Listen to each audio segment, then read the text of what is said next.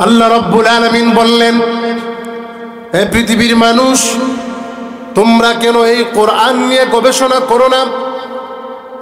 আল্লাহ বলছেন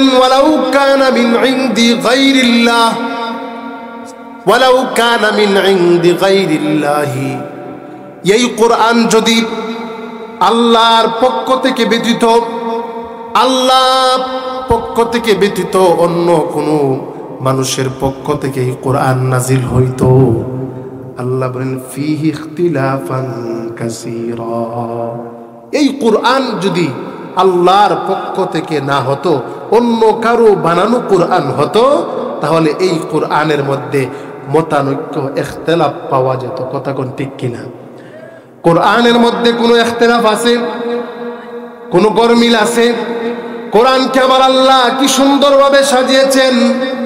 একটু চিন্তা করেন আল্লাহ বলছেন কোরআন নিয়ে গবেষণা করো প্রিয় ভাইয়েরা আমার আপনি সুরাতুল এখলাস তেলাওয়াত করবেন কি সুন্দর ছন্দবিল কিভাবে আল্লাহ কোরআন নাজিল করেছেন আল্লাহ বলেন قل هو الله أحد الله الصمد لم يلد ولم يولد ولم يكن له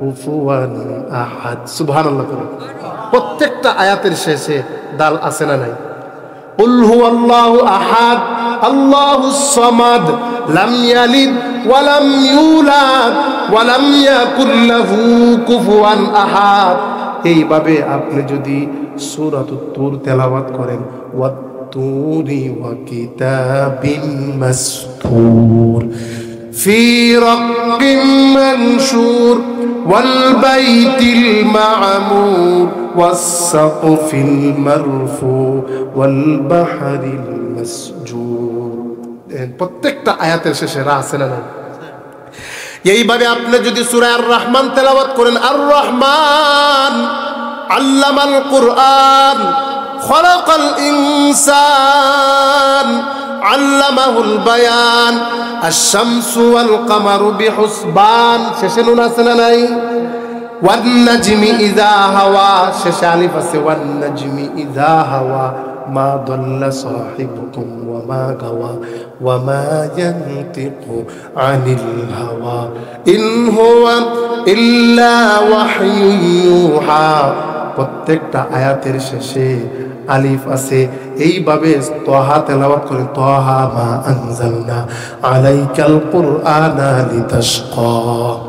আমার আল্লাহ এত সুন্দরভাবে কোরআন সাজিয়েছেন আল্লাহ বলেন কোরআন নিয়ে গবেষণা করো এই কোরআনের মধ্যে কোনো সন্দেহ নাই এই কোরআনের মধ্যে কোনো সংশয় নাই, আছে নাকি? এজন্য আল্লাহ রব্বুল আলামিন সূরাতুল বাকারার প্রথমেই বলেছেন জালিকাল কিতাবু লা রাইবা ফীহি। আল্লাহু আকবার। আল্লাহ রাব্বুল আলামিন বলছেন জালিকাল কিতাবু লা রাইবা ফীহি। বান্দারে শোনো এই কিতাবের মধ্যে কোনো সন্দেহ নাই। এই কিতাবের মধ্যে কোনো সংশয় নাই। আল্লাহ শুরুতেই বলে দিয়েছেন, মক্কার বেঈমান কাফেররা, তারা বলা বলে আরম্ভ করল যে, মোহাম্মদ যা বলে, এগুলা নিজের থেকে বানায়া বলে। কি বলে? যে, মোহাম্মদ এগুলা নিজে বানাইছে, মোহাম্মদ কবি। কিন্তু আল্লাহ রব্বুল আলামিন এই আবু জাহেল উদ্বা সাইবা তাদেরকে আল্লাহ কেমন পর্যন্ত আবু জাহেলের যত অনুসারী আসবে যারা কোরআন নিয়ে কথা বলবে কোরআনের বিরুদ্ধে কথা বলবে তাদের ব্যাপারে আল্লাহ চ্যালেঞ্জ দিয়েছেন وإن كنتم في ريب مما نزلنا على عبدنا فأتوا بسورة من مثله وادعوا شهداءكم من دون الله إن كنتم صادقين আল্লাহ বলেন হে মক্কার বেঈমান কাফেররা তোমরা বলো মোহাম্মদ নিজে কোরআন বানাইছে তাহলে তোমাদের ধারণা মতে মোহাম্মদে কোরআন বানাইছে। মোহাম্মদ তো কারও কাছে পড়াশোনা করে নাই। মোহাম্মদের কোনো উস্তাদ নাই টিচার নাই। ও আবু জাহের উদ্বাস সাইবা, তোমরা তো মোহাম্মদের চাইতে আরও জ্ঞানী। তোমাদের মধ্যে সাহিত্যিক আছে, তোমাদের মধ্যে কবি আছে, সবকিছুই আছে। মোহাম্মদ তো মিনবী মোহাম্মদ কারও কাছে পড়াশোনা করে নাই। তোমাদের ধারণা মতে কোরআন যদি বানানো হয়ে থাকে, তাহলে তোমরা সবাই মিল্লা ওয়াইন কুনতুম ফি রাইবিন মিম্মা আলা ফাতু মিন মিসলি। ছোট্ট একটা সূরা বানায় নিয়ে আসো।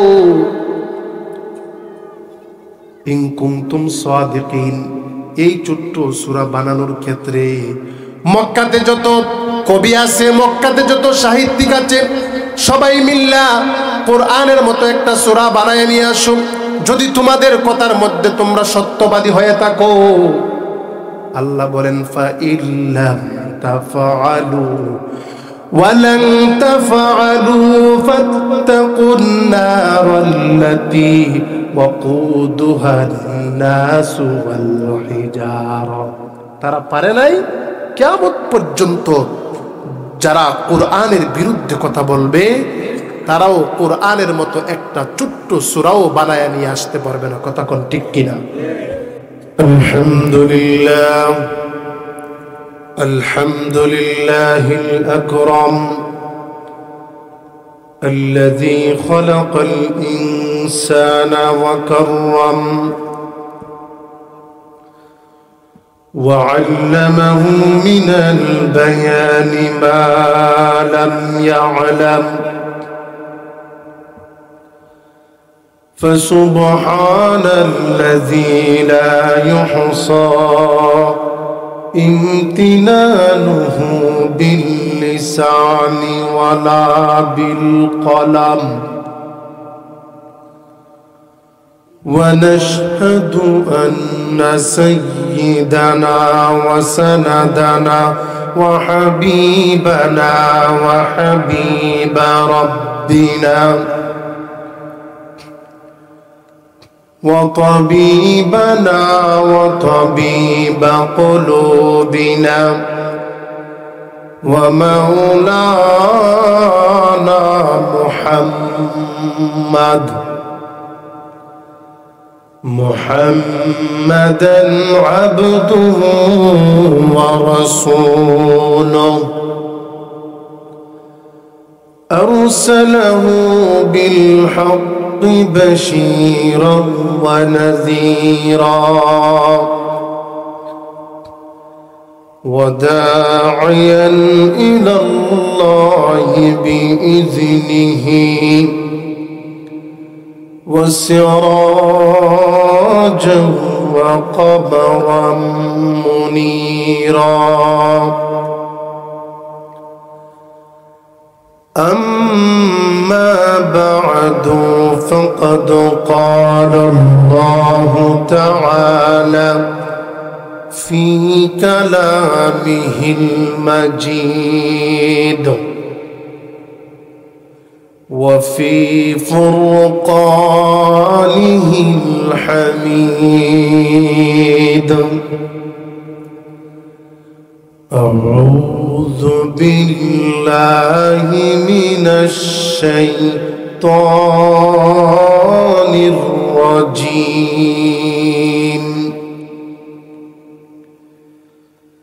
بسم الله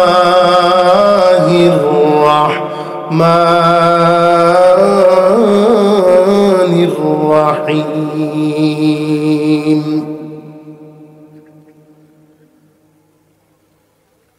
أفلا يتدبرون القرآن ولو كان من عند الله؟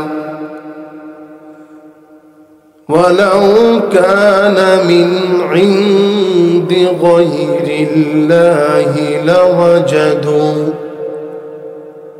لوجدوا فيه اختلافا كثيرا. وقال تعالى في آية أخرى إنا نحن نزلنا الذكر وإنا له لحافظون.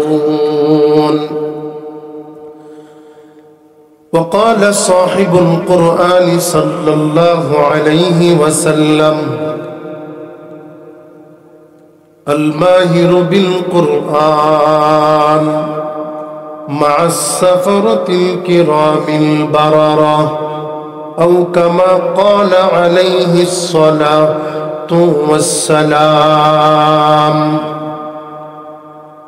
وقال تعالى في شان حبيبه إن الله وملائكته يصلون على النبي. يا أيها الذين آمنوا صلوا عليه تسليما شكل الزمن كل درود شريف بري اللهم صل على محمد وعلى آل محمد كما صليت على إبراهيم ইন্নাকা হামিদুম মাজিদ আল্লাহর রাসূল বলেন বান্দার আমল ততক্ষণ পর্যন্ত কবল হয় না, যতক্ষণ পর্যন্ত রাসুলের উপর দুরুদ না পড়া হয়। সুবাহান আল্লাহ বান্দা যখন কোনো আমল করে, যদি নবীর প্রতি দরুদ শরীফ পাঠ না করে, ওই আমলটা আরসের নিচে ঝুলন্ত থাকে। সুবাহান আল্লাহ এই জন্য নবীর প্রেম মোহাম্মত ভালোবাসা নিয়ে পড়েন। আল্লাহ محمد وعلى آل محمد كما باركت على إبراهيم وعلى آل إبراهيم إنك حميد مجيد. بلغ العلا بكماله كشف الدجى بجماله. حسنت جميع خصاله صلوا عليه وآله সকলে একটু জিকির করে মহব্বত লা ইলাহা ইল্লাল্লাহ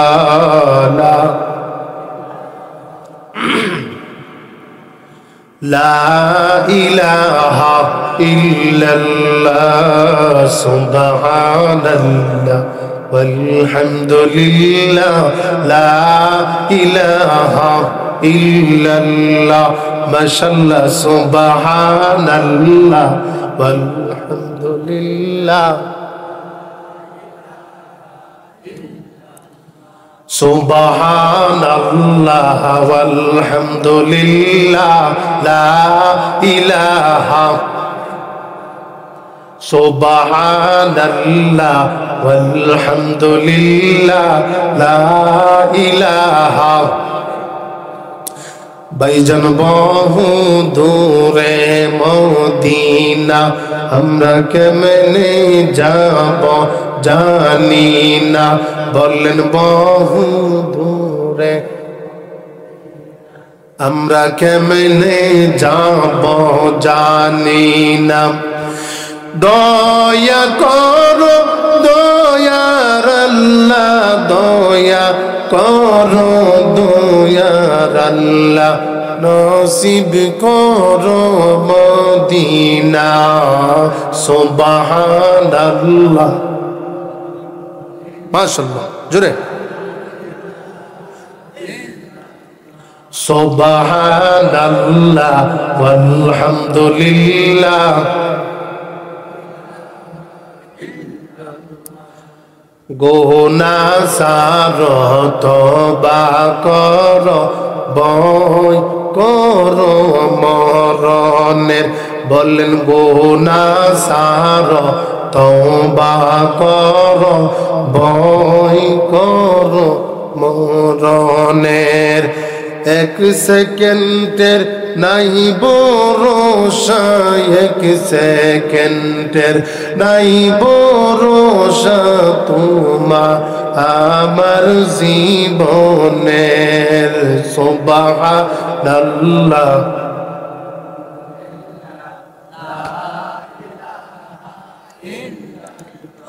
سبحان الله والحمد لله سبحان الله والحمد لله আলহামদুলিল্লাহ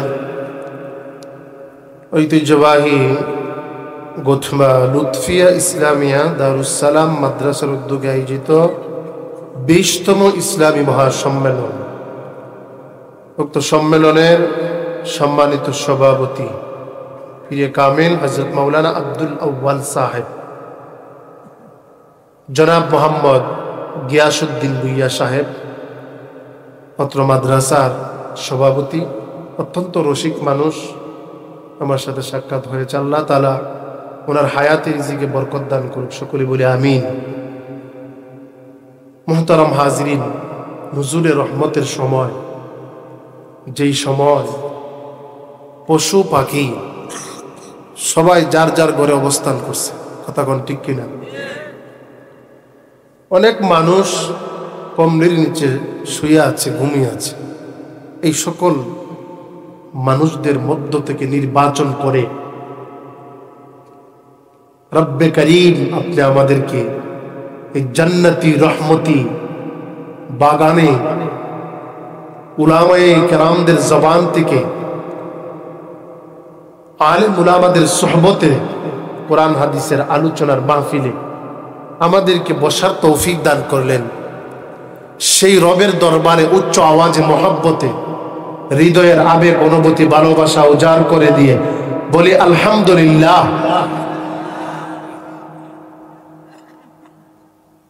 আপনি যদি আমার প্রশংসা করেন, আমি খুশি হই আপনার প্রতি। কথা কোন ঠিক কিনা?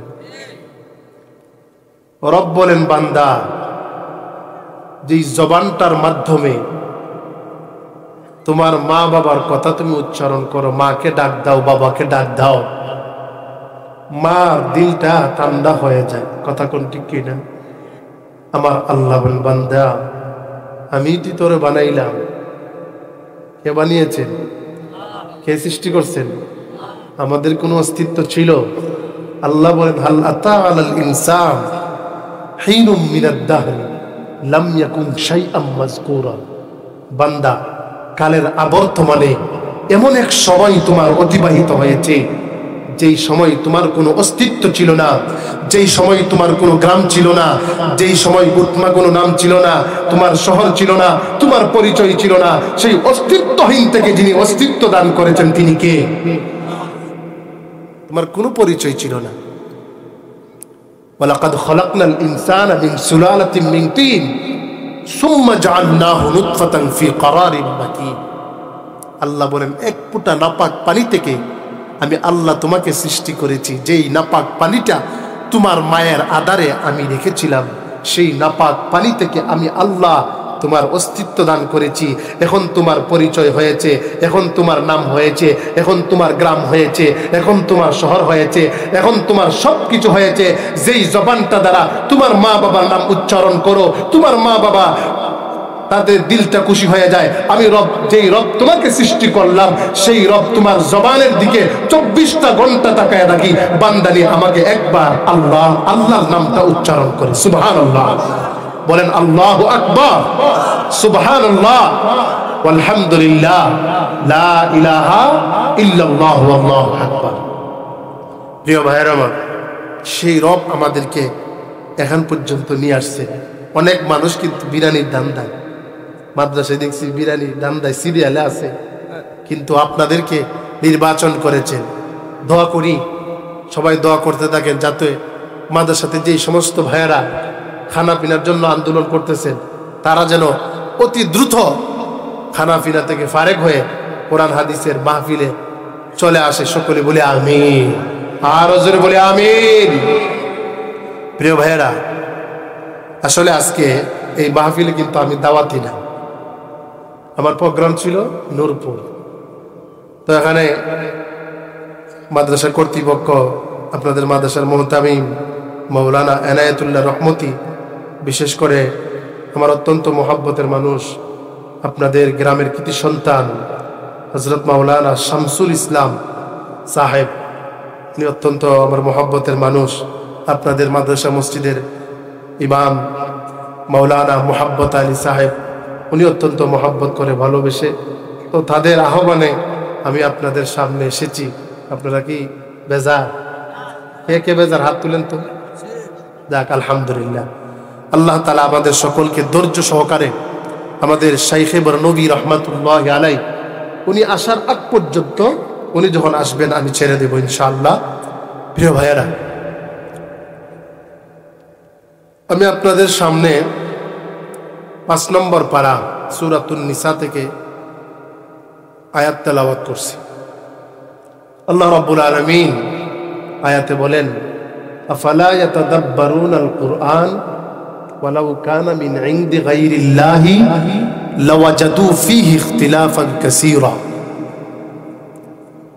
তোমরা কেন গবেষণা করো না?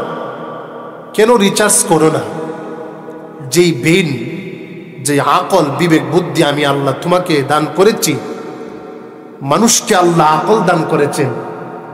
পশু, পাখি, গুরু, ছাগল, এদেরকে আকল দেয় নাই। আকল দিয়েছেন আমাদেরকে।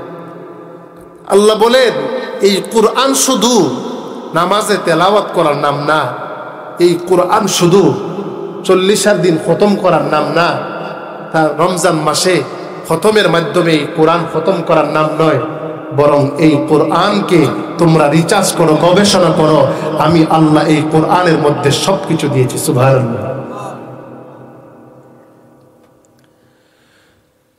ভাইয়েরা আমার الله رب العالمين بولنا فلا يتدبرون القرآن ولو كان ولو كان من عند غير الله لوجدوا فيه اختلافا كثيرا. الله رب العالمين بولن এ পৃথিবীর মানুষ তোমরা কেন এই কোরআন নিয়ে গবেষণা করো না? আল্লাহ বলছেন, ওয়ালাউ কানা মিন ইনদি গায়রিল্লাহ, ওয়ালাউ কানা মিন ইনদি গায়রিল্লাহি। এই কোরআন যদি আল্লাহর পক্ষ থেকে ব্যতীত আল্লাহ পক্ষ থেকে ব্যতীত অন্য কোনো মানুষের পক্ষ থেকে এই কোরআন নাজিল হইতো। আল্লাহ বলেন এই কোরআন যদি আল্লাহর পক্ষ থেকে না হতো, অন্য কারও বানানো কোরআন হতো, তাহলে এই কোরআনের মধ্যে মতানৈক্য এখতেলাফ পাওয়া যেত। কথা কোন ঠিক কিনা? কোরআনের মধ্যে কোনো এখতেলাফ আছে? কোনো গরমিল আছে? কোরআনকে আমার আল্লাহ কি সুন্দরভাবে সাজিয়েছেন? একটু চিন্তা করেন, আল্লাহ বলছেন, কোরআন নিয়ে গবেষণা করো। প্রিয় ভাইয়েরা আমার আপনি সুরাতুল এখলাস তেলাওয়াত করবেন কি সুন্দর ছন্দবিল কিভাবে আল্লাহ কোরআন নাজিল করেছেন আল্লাহ বলেন قل هو الله أحد الله الصمد لم يلد ولم يولد ولم يكن له কুফুয়ান আহাদ সুবহানাল্লাহ করুন প্রত্যেকটা আয়াতের শেষে দাল আছে না নাই উল্হু আল্লাহ আহাদ আল্লাহ সমাদ লাম ইয়ালিদ ওয়ালাম ইউলাদ ওয়ালাম ইয়াকুল্লাহু কুফুয়ান আহাদ এইভাবে আপনি যদি সূরাত তুর তেলাওয়াত করেন, ওয়াত তুরি ওয়া কিতাবিম মাসতুর। في رق منشور والبيت المعمور والسقف المرفوع والبحر المسجور প্রত্যেকটা আয়াতের শেষে রা আছে না নাই এইভাবে আপনি যদি সূরা আর রহমান তেলাওয়াত করেন আর রহমান আল্লামাল কুরআন খলাকাল ইনসান আল্লামাহুল বায়ান, আশ-শামসু ওয়াল কামারু বিহুসবান। শেষে নুন আছে না নাই? ওয়ান নাজমি ইযা হাওয়া। শেষে আলিফ আছে ওয়ান নাজমি ইযা হাওয়া। মা দল্লা সাহিবুকুম ওয়া মা গাওয়া ওয়া মা ইয়ানতিকু আনিল হাওয়া। ইন হুয়া ইল্লা ওয়াহয়ুন প্রত্যেকটা আয়াতের শেষে আলিফ আছে। এইভাবে তহা তেলাওয়াত করে, তহা মা আনজালনা আলাইকাল কুরআনা লিতাশকা। আমার আল্লাহ এত সুন্দরভাবে কোরআন সাজিয়েছেন। আল্লাহ বলেন, কোরআন নিয়ে গবেষণা করো। এই কোরআনের মধ্যে কোনো সন্দেহ নাই। এই কোরআনের মধ্যে কোনো সংশয় নাই, আছে নাকি? এজন্য আল্লাহ রব্বুল আলমিন সুরাতুল বাকারার প্রথমেই বলেছেন, জালিকাল কিতাবু লা রাইবা ফি আল্লাহু আকবার আল্লাহ রাব্বুল আলামিন বলছেন জালিকাল কিতাবু লা রাইবা ফি বান্দারে শুনো এই কিতাবের মধ্যে কোনো সন্দেহ নাই। এই কিতাবের মধ্যে কোনো সংশয় নাই। আল্লাহ শুরুতেই বলে দিয়েছেন, মক্কার বেঈমান কাফেররা তারা বলা বলে আরম্ভ করল যে মোহাম্মদ যা বলে, এগুলা নিজের থেকে বানায়া বলে। কি বলে? যে মোহাম্মদ এগুলা নিজে বানাইছে, মোহাম্মদ কবি। কিন্তু আল্লাহ রব্বুল আলামিন এই আবু জাহেল উদ্বা সাইবা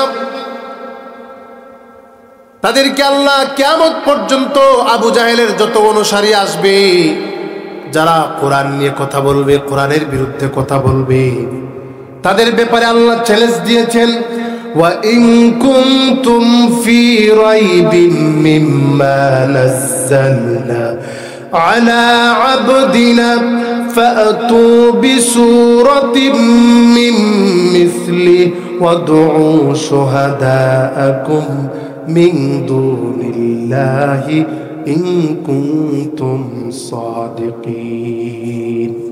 আল্লাহ বলেন, হে মক্কার বেঈমান কাফেররা, তোমরা বলো, মোহাম্মদ নিজে কোরআন বানাইছে। তাহলে তোমাদের ধারণা মতে মোহাম্মদে কোরআন বানাইছে। মোহাম্মদ তো কারও কাছে পড়াশোনা করে নাই। মোহাম্মদের কোনো উস্তাদ নাই, টিচার নাই ও আবু জাহের উদ্বাস সাইবা, তোমরা তো মোহাম্মদের চাইতে আরও জ্ঞানী, তোমাদের মধ্যে সাহিত্যিক আছে, তোমাদের মধ্যে কবি আছে, সবকিছুই আছে। মোহাম্মদ তো মিনবী মোহাম্মদ কারও কাছে পড়াশোনা করে নাই। তোমাদের ধারণা মতে কোরআন যদি বানানো হয়ে থাকে, তাহলে তোমরা সবাই মিল্লা ওয়াইন কুনতুম ফি রাইবিন মিম্মা নাযালনা আলা আবদিনা। ফাতু ছোট্ট একটা সূরা বানায় নিয়ে আসো। ইন কুনতুম সাদিকিন, এই ছোট্ট সূরা বানানোর ক্ষেত্রে মক্কাতে যত কবি আছে, মক্কাতে যত সাহিত্যিক আছে, সবাই মিল্লা কোরআনের মতো একটা সূরা বানায় নিয়ে আসো।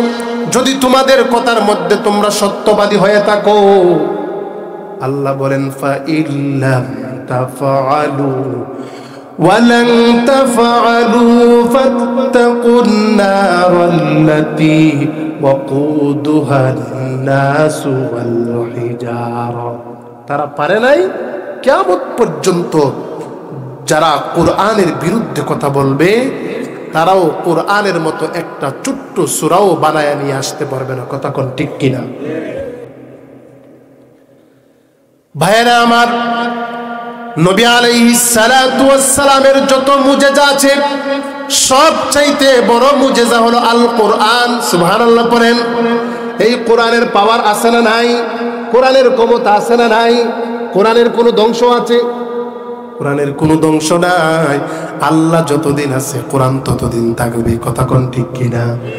কোরআন গাইরে মাখলুক, কোরআন আল্লাহর সৃষ্টি না জান্নাত, জাহান্নাম পৃথিবীতে যা আছে সব সব কিছু আল্লাহর সৃষ্টি। কিন্তু কোরআন আল্লাহর কি না? সৃষ্টি? না। প্রিয় ভাইয়েরা আমার এই কোরআনের কেমন মুজেজা কোরআন কেমন পাওয়ারওয়ালা শাহ আব্দুল আজিজ মুহাদ্দিসে দেহলভি রহমাতুল্লাহ আলাই নাম শুনছেন।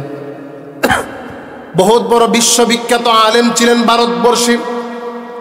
উনিশশো সালে যার ফতোয়ার ভিত্তিতে ভারতবর্ষ থেকে ইংরেজদেরকে বিতাড়িত করেছিলেন, সেই মহাপুরুষ হল শাহ আব্দুল আজিজ মুহাদ্দিসে দেহলভি রহমতুল্লাহ আলাই শাহ আব্দুল আজিজ মুহাদ্দিসে দেহলভির কাছে এক খ্রিস্টান পাদ্রী আসছে। ডান হাতে বাইবেল আর বাম হাতে কুকুরের ছবি। ডান হাতে, বলেন, ডান হাতে কি? আর বাম হাতে কুকুরের ছবি। তো ডান হাতে বাইবেল, বাম হাতে কুকুরের ছবি নিয়া শাহ আব্দুল আজিজ মহাদ্দিসে দেহলভি রহমাতুল্লাহ আলাই ওনার কাছে এসেছে। এসে বলতেছে, ও শাহ আব্দুল আজিজ মহাদ্দিসে দেহলভি, আমাদের ধর্ম আর তোমাদের ধর্ম আমাদের আসমানি কিতাব, তোমাদের আসমানি কিতাব নিয়া জগরার প্রয়োজন নাই, তর্ক বিতর্কের প্রয়োজন নাই। তো কি করতে হবে? ওই খ্রিস্টান বলে, এক কাজ করো, আমার হাতে যে বাইবেল, এই বাইবেল আগুনের মধ্যে নিক্ষেপ করব, আর তোমাদের যে ধর্মগ্রন্থ আল কোরআন এই কোরআনকে আগুনের মধ্যে নিক্ষেপ করো। নওয়াজুবিল্লা কন। যার আসমানি কিতাব পুরে চাই হয়ে যাবে, বোঝা গেল তার ধর্ম ধর্মগ্রন্থ বাতিল, তাদের নবীও বাতিল নাউজুবিল্লা কন। আর যার আসমানি কিতাব অক্ষত থাকবে, বোঝা গেল তার ধর্ম সঠিক। তার আসমানি কিতাব, কথা বলেন না। হ্যাঁ জুড়ে বলেন, তার আসমানি কিতাব সঠিক। এখন শাহ আব্দুল আজিজ মহাদ্দিসে দেহলভি রহমতুল্লাহ আলাই উনি মোরাকাবার মধ্যে বসলেন। মোরাকাবার মধ্যে আমার আল্লাহ এলহামের মাধ্যমে ওনাকে জানায় দিলেন, ও শাহ আব্দুল আজিজ মহাদ্দিস, দেহলভি, এই খ্রিস্টান পাদ্রী যেই প্রস্তাব দিয়েছে, এই প্রস্তাবে তুমি রাজি হইবা না? কেন?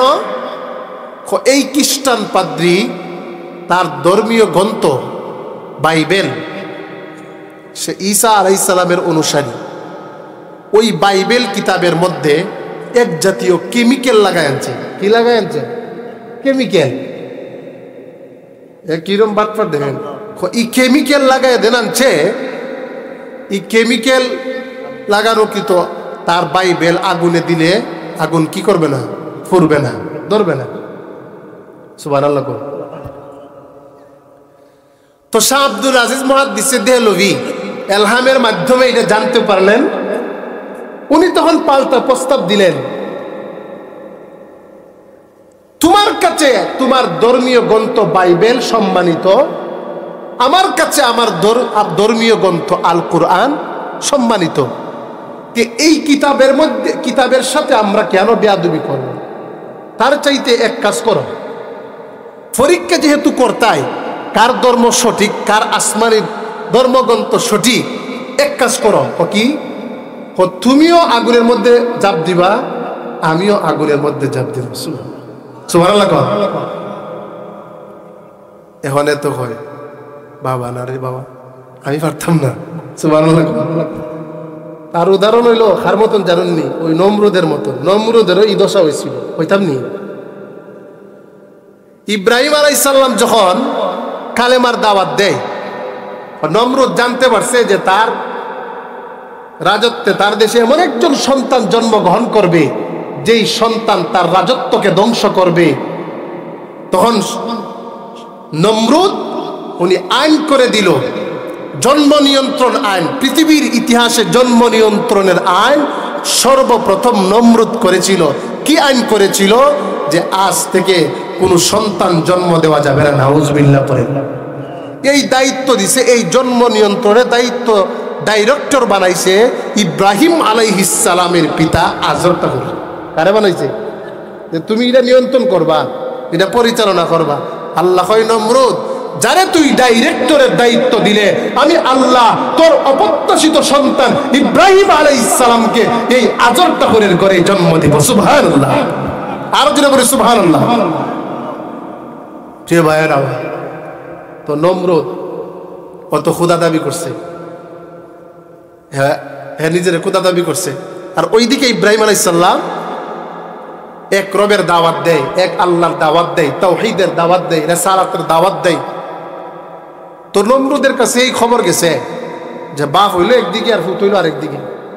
নমরুদে আজরটা করে ডাকাইছে তোমার ফুত্রে নিয়ে আসো, আমার দরবার রাজ দরবার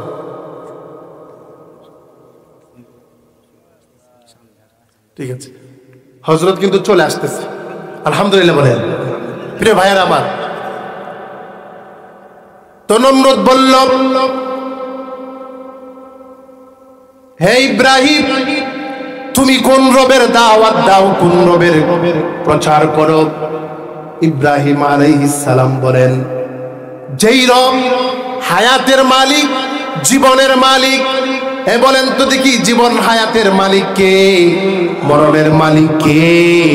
কুল ইন্দা সলাতি ওয়া নুসুকি ওয়া মাহয়ায়া ওয়া মামাতি লিল্লাহি রাব্বিল আলামিন। আল্লাহু আকবার। ইব্রাহিম আলাইহিস সালাম বলেন, আমার রব হায়াতের মালিক, মরণের মালিক।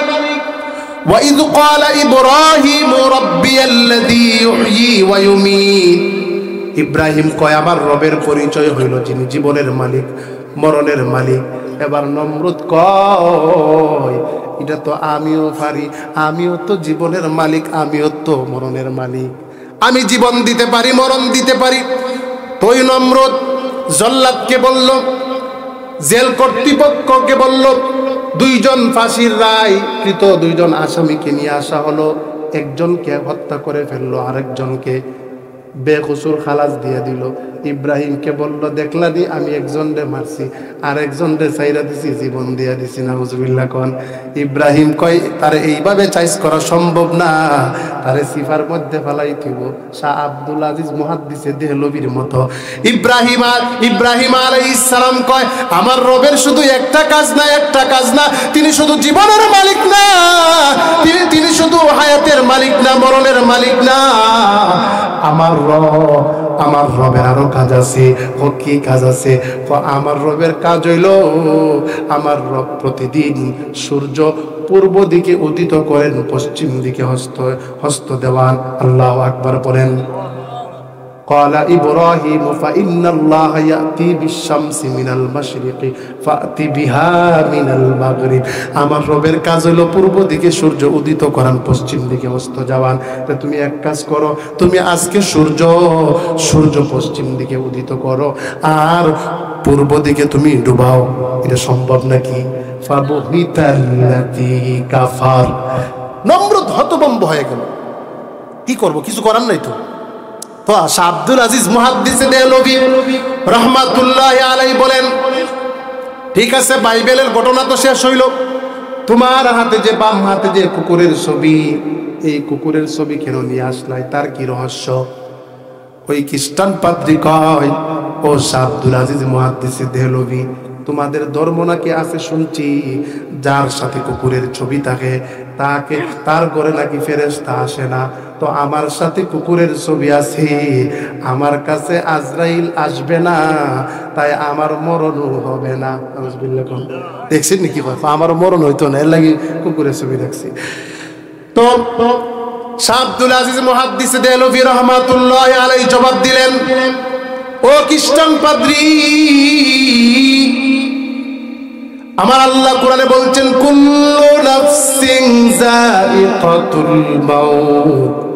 পৃথিবীতে যত প্রাণী আছে, সকল প্রাণীর মৃত্যু একদিন হবে।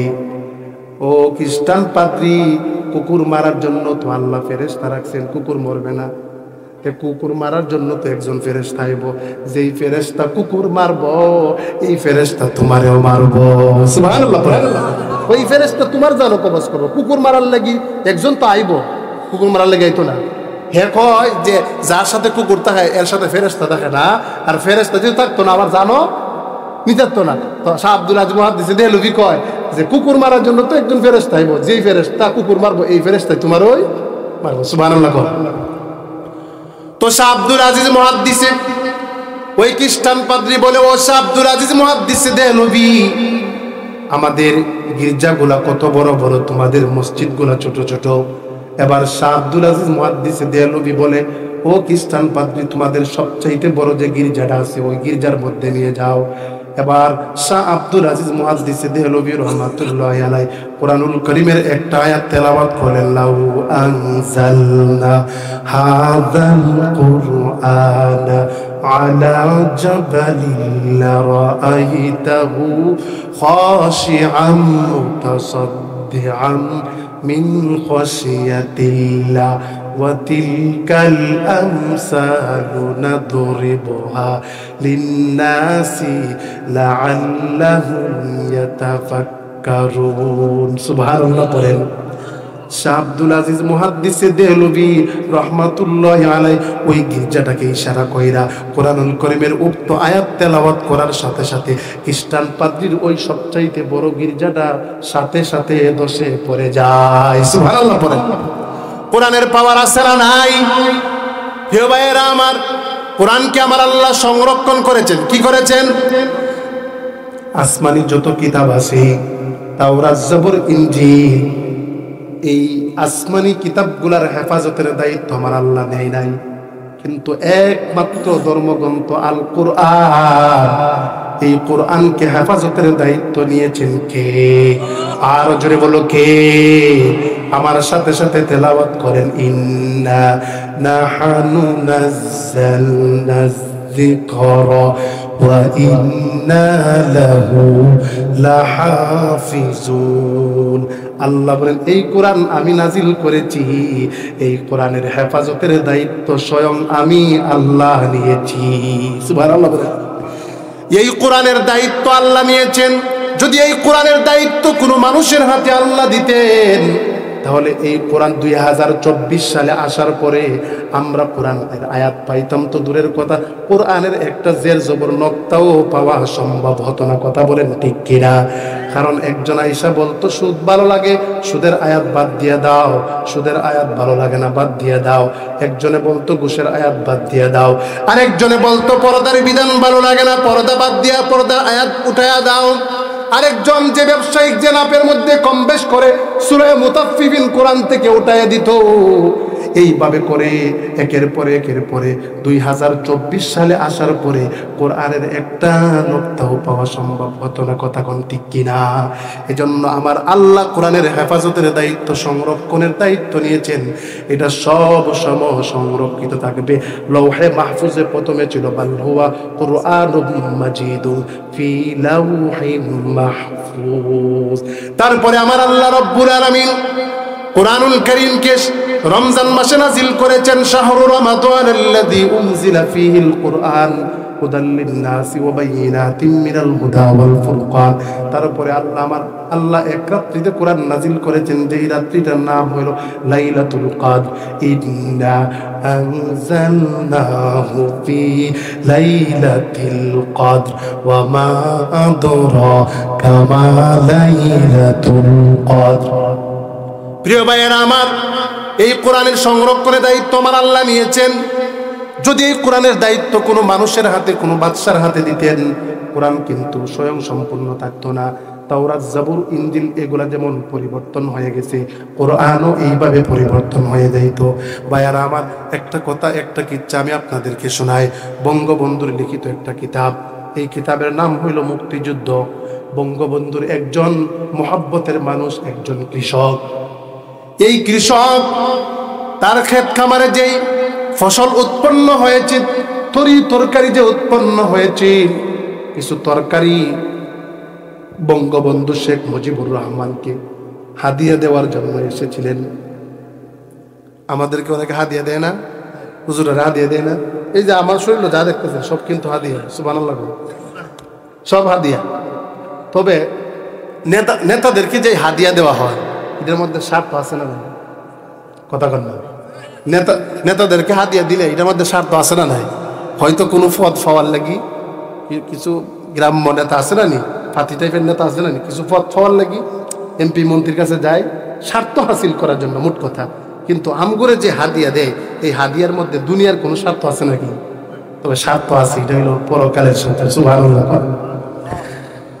তো, ওই ব্যক্তি বঙ্গবন্ধুর জন্য একদম পিওর কিছু তরকারি, যার মধ্যে কোনো ফরমালিন নাই কি নাই?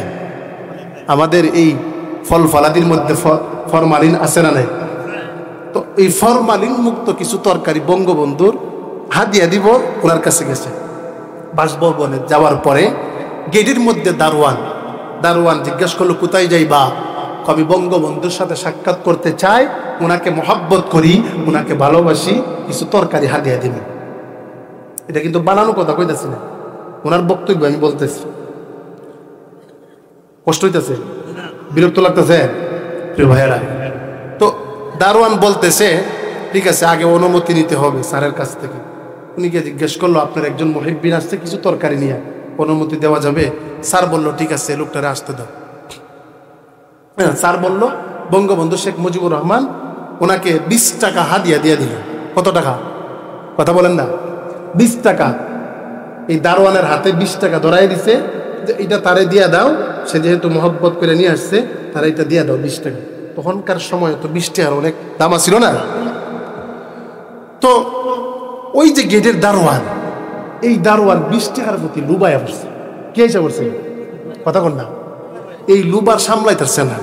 কিছু মানুষ দেখবেন না, কিছু মাতবর, কিছু সর্দার, এটা টেহা যেখানে আছে, এখানেই হয়, এখানেই যায়। দেখার দেখার টাকা পয়সার মাধ্যমে আদালত কেনা বেচা হয়, বিক্রি হয়।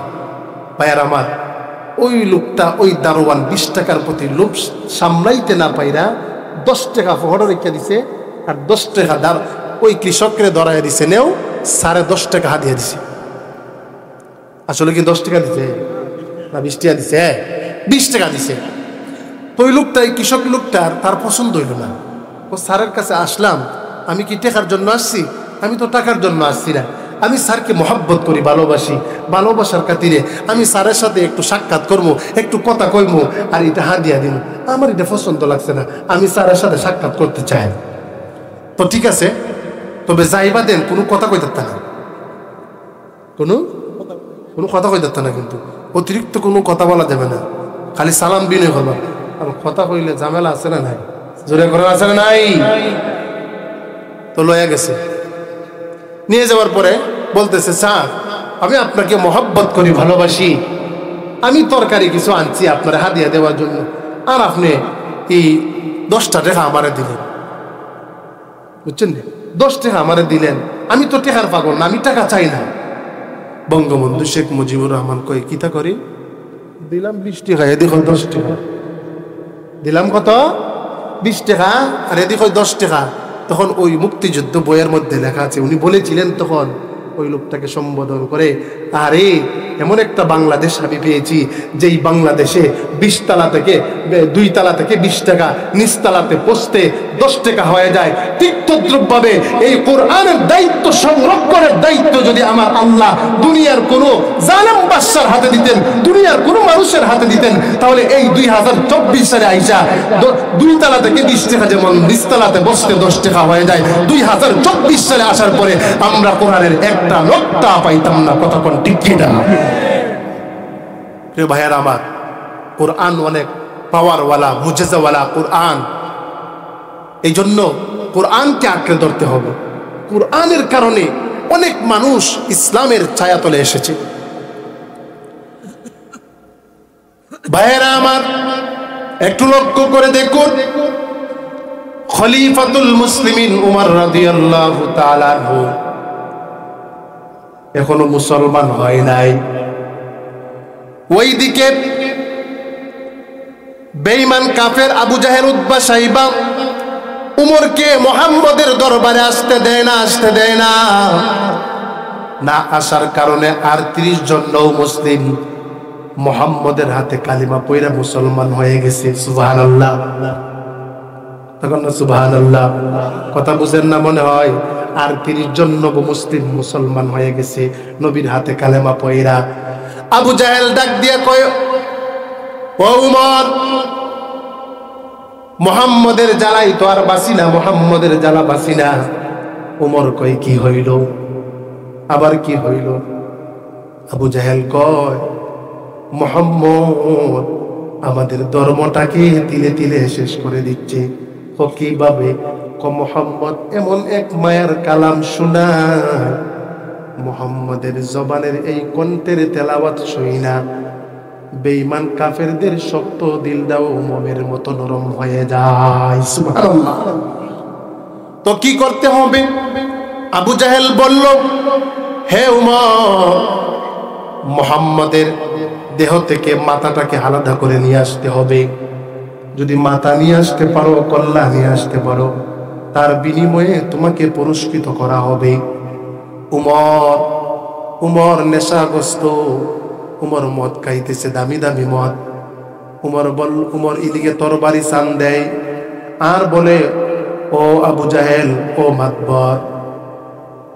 ঠিক আছে, আমি আজকে মোহাম্মদের মাথা তোমার দরবারে নিয়ে আসব। হজরত উমর রাদিয়াল্লাহু তাআলাহু রাঙ্গা তরবারি নিয়া নবীর মাথা আনার জন্য চলে যায়, রওনা হয়ে যায়। প্রতিমধ্যে বাল্যকালের একজন বন্ধু এই বন্ধুর সাথে উমরের সাক্ষাৎ হয়ে যায়। বন্ধু বলে, ও দুস্থ তোমার চেহারা সুরত তো তেমন ভালো দেখা যাচ্ছে না। কি হয়েছে কি হয়েছে? উমর কয়, মোহাম্মদের জ্বালা বাসি না। মোহাম্মদ কি এক মায়ার কালাম শোনায়? যেই মায়ার কালাম সেই না। বেঈমান কাফেররা মুসলমান হয়ে গেছে। আমাদের ধর্মটাকে মোহাম্মদ ধীরে ধীরে শেষ করে দিচ্ছে। ওই বাল্যকালের বন্ধু উত্তর করল, হে উমর, এটাই যদি অপরাধ হয়, তাহলে আগে তোমার বোনের কবর নাও। তোমার বোন জামাইয়ের কবর নাও। তোমার বোন ফাতেমা বিনতে খাত্তাব। তোমার বগ্নিপতি তারা তো আগেই কালেমা পইরা মুসলমান হয়ে গেছে। আমি দেখে আসছি, তারা ঘরের মধ্যে কোরআন তেলাওয়াত শুনতেছে। উমর বলে, না, এটা হতে পারে না, অসম্ভব। আমার বোন মোহাম্মদের ধর্ম গ্রহণ করতে পারে না। মোহাম্মদের কালাম তেলাওয়াত করতে পারে না। বন্ধু উত্তর দেই আমি তোমাকে চ্যালেঞ্জ দিলাম আমার সাথে এখন চলো তোমার বোনের ঘরে উমর যায় দরজার ভিতর থেকে কে কে তেলাওয়াত করতেছে মধুর কণ্ঠে তহামা আনজালনা আলাইকাল القرآن لتشقى إلا تذكرة لمن يخشى الله أكبر قرآن ফাতেমা বিনতে খাত্তাব মধুর কণ্ঠে তেলাওয়াত করে, এই কণ্ঠের তেলাওয়াত শুই না উমরের দিলটা ছিদ্র হয়ে যায়, পেরাশান হয়ে যায়, মাতুয়ারা হয়ে যায়, পাগল হয়ে যায়। উমর বারবার দরজার মধ্যে নক করতেছে, বোন, দরজাটা কোন দরজাটা কোন ফাতেমা বিনতে খাত্তাব, বোন, জবাব দেয় ভাই, দরজা খুলতে, দরজা খোলা যাবে না, দরজা খুলবো না ও কেনে খুলবে না। ও, তুমি যে দানব, তুমি যে এক দানব, তুমি আমারে মেরে ফেলবা, তুমি আমারে আঘাত করবা। উমর বলে, না না, আমি তোকে আঘাত করব না। তুই কি এক মায়ের কালাম শোনাস? এই মায়ার কালাম শুই না, আমার দিলটা প্যারাসান হয়ে গেছে। আমার চম্বুক যেইভাবে আকর্ষণ করে, কোরআনের প্রতি আমার দিলটা এত আকর্ষণ করতেছে। বোন, তুই দরজা খোল। কিন্তু ফাতেমা বিনতে খাত্তাব দরজা খুলে না। এক পর্যায়ে খলিফা উমর লাত্তি মাইরা দরজা ভেঙ্গে ভেঙ্গে ফেলল। ঘরের মধ্যে ঢুকার পরে বোনকে আঘাত করল তাপ্পর দিল। বোনের গায়ে বোন রক্ত রঞ্জিত হয়। রক্তরঞ্জিত অবস্থায় মাটির মধ্যে বেহুশ হয়ে শুয়ে আছে। হুশ ফিরে আসার পরে বোন বলল, ভাই, তুমি আমাকে এইভাবে আঘাত করতে পারলা। তুমি যেই বাপের সন্তান, আমি সেই বাপের সন্তান।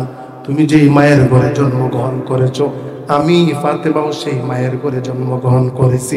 তুমি আমাকে কীভাবে আঘাত করলা? কীভাবে আঘাত করতে পারলা? ওমর জবাব দেয় বোন আমি তুই কালেমা পড়ার জন্য, আমি এই কোরআন তেলাওয়াত করার জন্য আমি তোকে আঘাত করি নাই। আমি আঘাত করেছি, তুই কেন দরজা খুলস না? সুবহানাল্লাহ। এবার খলিফাতুল মুসলিমিন ওমর বোনকে বলল, বোন, তুই আবার এই কালাম মায়ার কালাম আমাকে শোনা। সুবহান আল্লাহ পড়েন। তুই আবার শোনা আবার শোনা। বোন বলল, ভাই এইভাবে কোরআনকে স্পর্শ করা যাবে না, কোরআন তেলাবাদ করা যাবে না।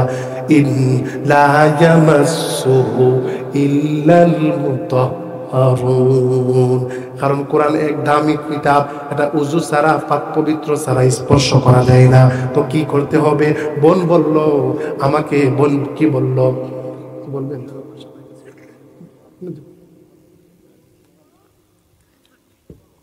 কোরআন তেলাওয়াত করা যাবে না, স্পর্শ করা যাবে না।